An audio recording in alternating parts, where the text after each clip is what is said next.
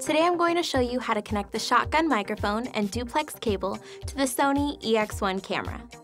Plug the male end of the XLR cable into channel 1 on the audio input block.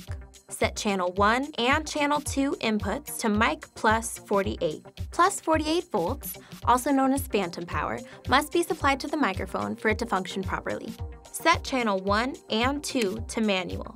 Set both channel 1 and 2 to external to listen, plug your headphones into the monitor jack and adjust the monitor levels using this button on the camera's handle.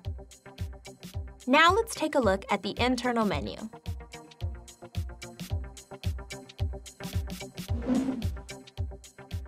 Push the menu button at the side, and the menu screen will display on the LCD monitor. Use the Selection slash Set button and scroll to the musical note labeled Audio Set. Then toggle to the audio input section using the selection slash set button on the top handle. Set the automatic gain control, or AGC, link to separated. The wind filters should be turned off.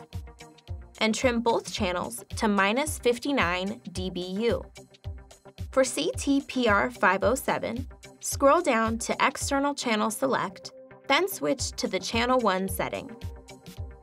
The advantage of the Channel 1 setting is it allows you to record a safety track on Channel 2. Let's toggle to larger audio meters and I will illustrate this concept. Press the status button below the camera's handle. Then toggle to the audio page to find larger audio meters.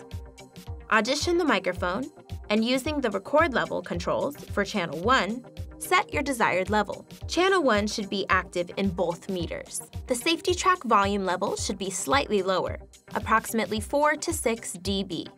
A safety track, as seen on channel 2, is a duplicate recording of channel 1 at a slightly lower level.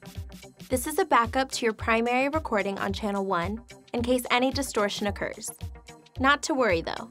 During post-production, you'll be able to replace the distorted audio with a portion of the undistorted safety track that was recorded on channel 2. Now, you're ready to record.